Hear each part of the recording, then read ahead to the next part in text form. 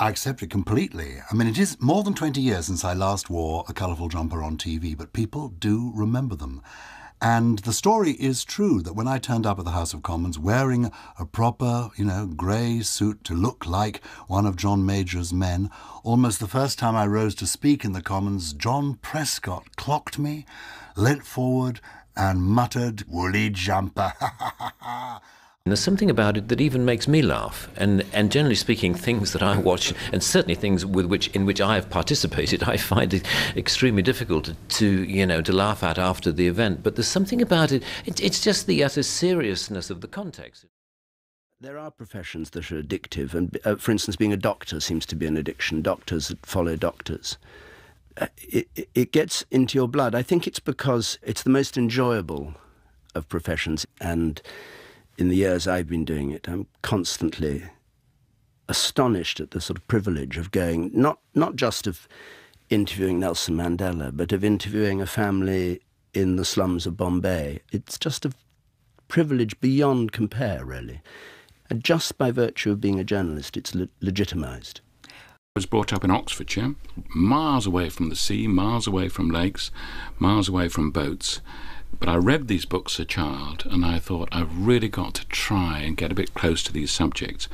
My brother and I made a small sailing dinghy together which sank, which was a disaster. But with my own children, I then was able to live out the fantasy.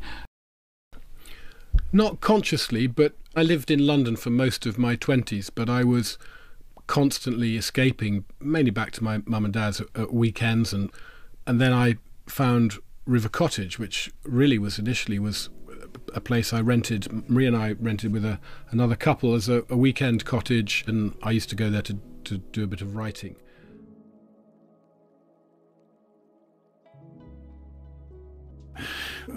Physical contact was with a female with her uh, twins, and she she put her hand on the top of my head Hello, my name is Stephen Fry. I was born in London and I've been in the entertainment business since, um, well, I suppose about 1981. Brimful of this optimism and joy and just an insistence on that, you know. And she's not crushed by it somehow. That character still survives.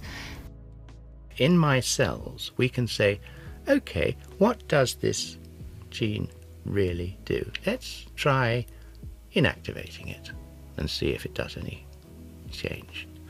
He was the head of diagnostic medicine. This is a remarkable notion, a remarkable character. More remarkable then than now, I think, in that up until that point, heroes in television drama had beautiful hair, lots of it, splendid teeth, and fine jawlines.